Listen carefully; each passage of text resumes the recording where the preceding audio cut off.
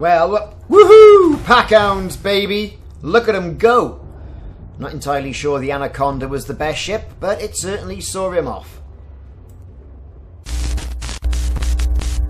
Hello, it's Ricardo, and welcome back to Elite Dangerous. I've been doing some more power play, and I've switched my allegiance to Lee Yong Ri. Now, he's the current CEO of Sirius Corps and is an independent. Great, fantastic, I hear you say. Why should I be aligned to him? Because he has Packhounds, which is a big missile rack full of drunk missiles that fire micro missiles off everywhere and look absolutely spectacular. Now, I've been aligned to him for about four weeks, well, four weeks, two days to be specific, and I've got myself down to the Lembava system, which is where he resides. I've docked at the nearest station, and I'm going to pick up some materials. Now, what I'm going to be doing is, is ensuring that I've got to rating three. That's when the Packhound missiles are unlocked. Now, as a result of this, I also get a weekly bonus after one week of 500,000 credits. Woo! I hear you say. You can make more of that mining or even trading. Exactly. But what we're actually talking about now is the Packhound rack. And they're unlocked after four weeks. Now, what you have to do is to deliver loads of material, about 750 items of material, to his supporters or people who are in expansion or people who um, are pledging, all that sort of thing. So I got myself down to the Lembava system. It wasn't too far away from where I've been doing all the community goals in the Sirius system. Only a few jumps, and you can see, you know, it's not too far away from the core. Great. So I'm going for preparation, and there's quite a few systems, both 34 light years away, Tlapana, for example, that is ripe for some preparation material. So you've got to deliver 750 of these materials, I believe, all the way down to that system. So I got myself over to the independent centre of Lembava, and I got myself to Goldstein Port, which is the closest um, station there. And there's the system, and I'm going to stock up on some of that material. Now, stocking up on this material is a bit of a grind, as we know. Nothing is not grindy in Elite Dangerous. I've also called in my big old Type 9. That's got 752 units of capacity for cargo. So I can, in one run, deliver all those materials and get it knocked out in one sitting. Then all I have to do is wait for the tick. So the Type 9, I got it over to the particular system that I wanted uh, in Lembava, got it to the station, and now it's time to grind out and get those preparation materials for delivery to unlock this tier. Now for me this is horrendously unnecessary grind inside this particular part of power play. I get it, right? I get it. Everything, you know, you nothing's going to be easy.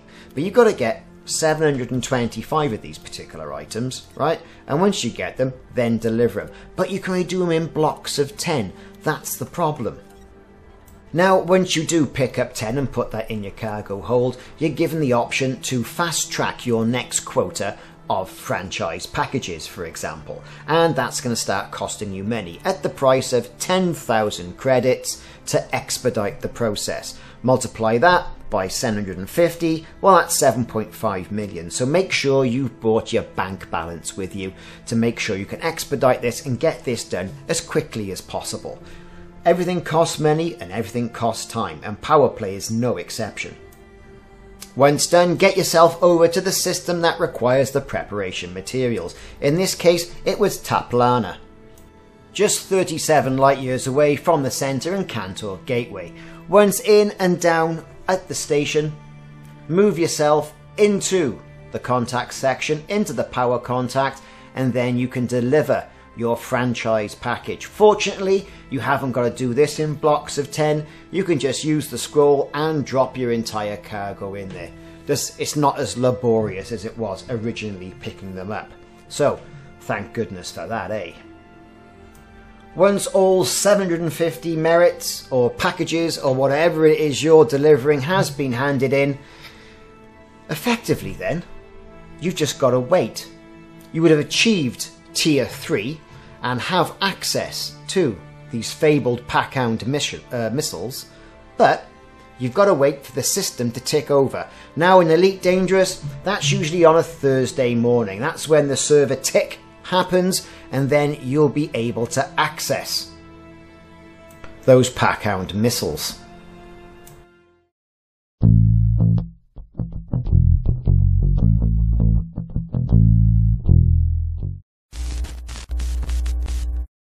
Now with the Packhound missiles unlocked, it's time to get your ship of choice that you can be fitting your Packhounds to and get them over and get yourself into the outfitting section. I've gone for the Anaconda, basically because, well, it's the ship I had to hand and I can have a good few um, sets of Packhounds which I can get engineered up for different versions when I, once I get to um, the engineer of choice. Into hardpoints, I've already cleared something out. Now, they're only class 2 um, modules, into missiles, there you see Packhound, Class 2, buy, stick them in. I'm going to go all the way up uh, the Class 2 modules and Class 3 modules, leaving the Class 1 and Class 4 um, huge hard point for other types of more conventional missiles. Then with your ship fully kitted out with Packhounds, it's out to go and find yourself a little bit of mischief. Fortunately, there's missions you can get for that, or just pop into the nearest nav beacon. And then Time to unleash that Packhound fury. Thanks very much for watching. I've been Ricardo, and thanks for watching this video on how to get Packhounds and do the bit of power play. Uh, off to do some engineering now with Liz Ryder and get these puppies pimped up.